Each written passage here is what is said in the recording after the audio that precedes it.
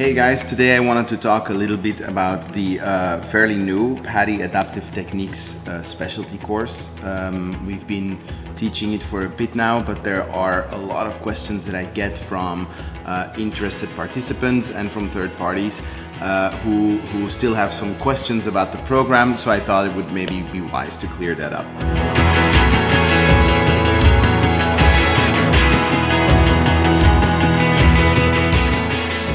Um, the first thing we should understand is that the Adaptive Techniques program is not for the um, physically challenged diver who wants to uh, enroll in a program. The Adaptive Techniques program is for certified divers or dive professionals who want to learn how to dive with or guide or teach divers who may have challenges.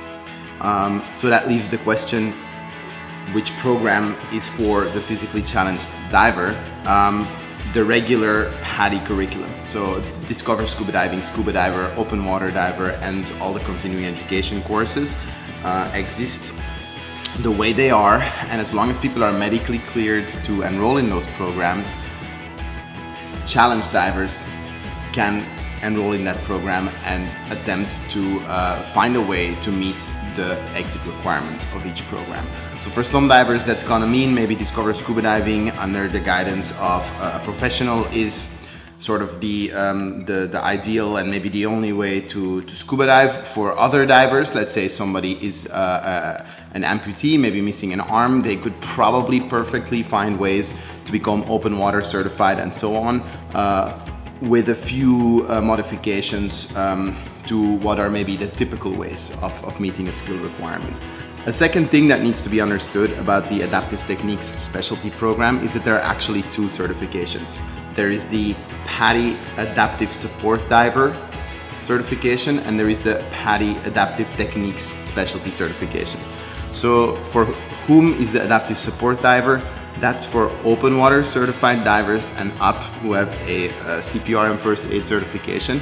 They can enroll in the specialty program and they can become adaptive support diver specialists. So let's say that our open water or advanced certified diver has a buddy who uh, has a challenge of some sort but is a certified diver. Being an adaptive support diver will better prepare and, and arm the, uh, the certified diver to team up with their buddy and cater to their specific challenge. So they can essentially form a more effective team and be safer in the water. On the other hand, the PADI Adaptive Techniques specialty course is catered towards dive professionals, so dive master and up, um, who um, you know want to want to learn techniques of thinking outside of the box, of maybe performing skills in ways that aren't obvious, but that still allow challenge divers to meet requirements.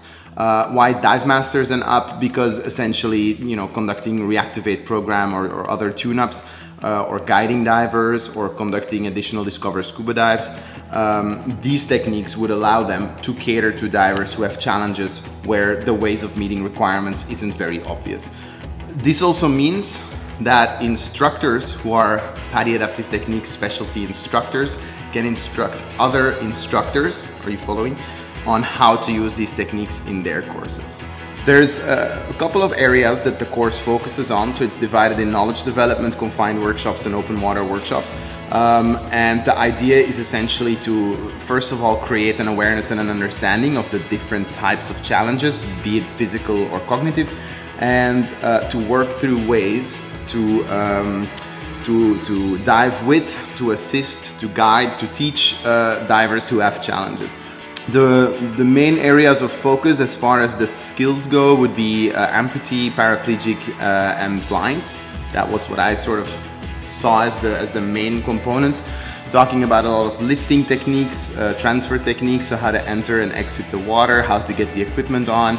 So the next question that I can see people asking a lot is, well, should somebody who is uh, physically challenged be diving in the first place? Um, I think you guys know, if you've seen the vlog a little bit, my answer to that is absolutely yes. As long as you're medically cleared by a physician to partake in scuba diving activities, Um, and as long as you are doing so with people who know what they're doing, so responsible professionals who have adequate training, there are many ways to, um, to either meet requirements for certain programs or to be in experienced programs such as Discover Scuba Diving under close supervision and, and do something that is quite challenging and that is actually quite an accomplishment. Um, the, the the, the challenge, the, the disability that I get the most questions about is usually uh, for, for divers who are blind. They say, well, why would somebody who can't see want to scuba dive? And the answer is, is pretty uh, is pretty interesting. We've had several visually impaired divers coming through the college uh, and the, the answer is always the same. Even though they don't see anything, they can't necessarily appreciate, uh, let's say, the, the fauna and flora that we have underwater the sensation of weightlessness, of being suspended, of, of floating, you know, almost that sort of zero gravity-ish experience that, that most scuba divers like is, is absolutely maximized for somebody who can't see. Uh, the amount of trust that is required from the visually impaired diver to essentially trust another human being with their life for 45 minutes, however long the dive is, uh, that's a huge step, but it's also a huge mental accomplishment to be able to give that trust to somebody because a lot of the course is about um, empathy training, so letting the students uh, or the candidate try what it feels like to be in that situation. So what does it feel like when you can't use your legs on a scuba dive? What does it feel like when you can't see? What does it feel like to remove and replace a BC on the surface when you're missing your right arm? Uh, and, and that there's huge value in that training. I would personally say, if you asked me, is this course for you?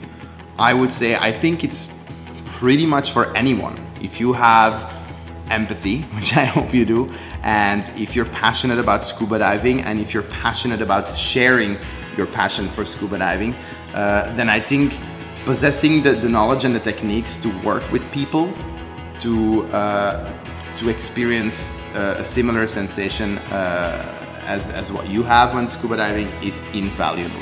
The only sort of really big critique that I see people uh, potentially having going forward is it's a fairly short program. It's not super, super, super in depth, but um, you know, PADI's philosophy in general with specialties anyway is that they're they're not necessarily there to create experts you know, in that area. So if you want to become an expert in training uh, challenge divers, definitely seek training with uh, an agency that is specialized in it. But if you are already a PADI diver or a PADI professional and you want to enhance your own knowledge and skills on this topic, 100% recommend it.